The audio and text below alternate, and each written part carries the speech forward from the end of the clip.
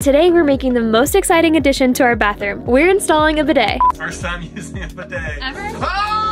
The Clean Camper bidet is made specifically to fit most RV toilets and comes with everything you need to set it up. The whole installation process is so simple. We were so surprised by how great the water pressure is even with no batteries or electricity. And this baby has front and rear cleaning nozzles and the pressure is totally adjustable. Plus the bidet also helps us save money on that expensive RV toilet paper and keeps our holding tank cleaner. This is our first time having and using a bidet and I gotta say we have been missing out. Should I do the rear or the front first? Whichever. I'll the rear first. Oh god.